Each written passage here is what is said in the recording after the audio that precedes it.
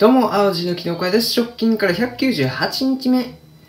前回の動画でも見ましたが、気温が少し下がってきたので、もうすぐ椎茸シーズンです。いやー、楽しみですね。椎茸の発生はいつかなんですが、ズバリ浸水した数日後です。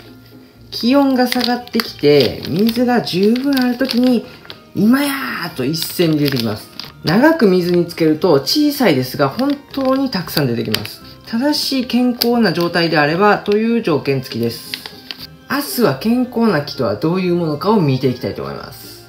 椎茸レズカは現在16キャラ。各キャラの説明は SNS に載せているので、下の説明欄から見てみてください。はい、浸水日まで11日。見る椎茸のビデオログが参考になれば幸いです。ご視聴ありがとうございました。ではまた。